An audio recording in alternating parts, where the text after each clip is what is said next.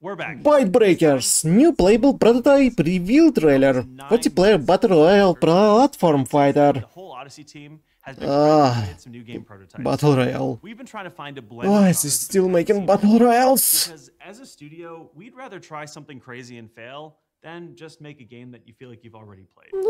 It's a scary process, but it's also kind of awesome because taking risks is why we started a brand new studio in the first place. Make a story-rich game. This may be a little crazy, but today we want to show you one Story-rich game. Make a story-rich game.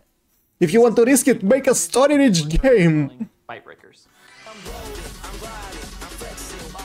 And not, not another battle royale.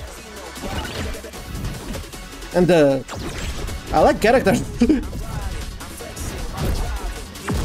Anime waifus and husbands here look cool, but uh, I I so I so despise battle royals. Ah, for Christ's sake.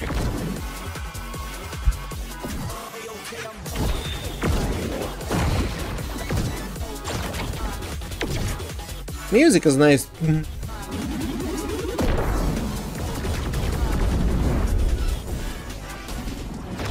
Byte Breakers! We'll all probably be calling this something like a Smash Battle Royale.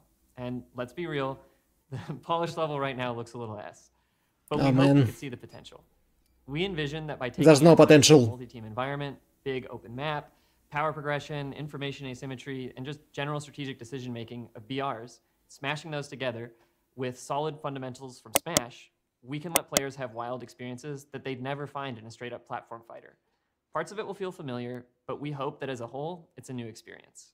So to call out the elephant in the room, making a platform fighter is scary. You're gonna always be compared to one of the greatest gaming series of all time. A To us, story! that's what's Rich exciting. game! Make a better Smash. And people will play it evolution of for the the story and characters. At the end of the day, Find a capable what screenwriter. matters is what you think of the game. Does it feel fun and unique when you play it? Is it something you could see yourself playing with your friends? Or should we even be making this thing, or should we just go next? With Omega Strikers, we learned firsthand the risks of keeping things under wraps for too long, and we felt the pain of having to move on from something that we poured three years of our passion into. For all of our next projects, we want to hear what you think much, much earlier. So, in a few days, we're going to start up a playtest on Steam where we let a few thousand of you in to try out the prototype. It's fully public, so feel free to talk about it with your friends, make videos about it, or even stream it. We want to hear what you honestly think. To get in, just go to the Steam page for Byte Breakers and request playtest access.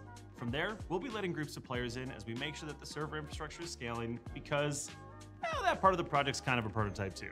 So to make sure that we're super clear on expectations, we may not end up actually making this prototype.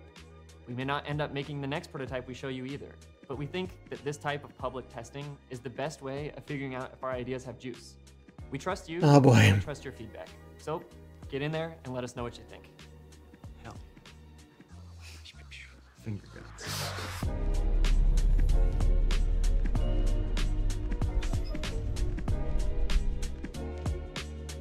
Oh man.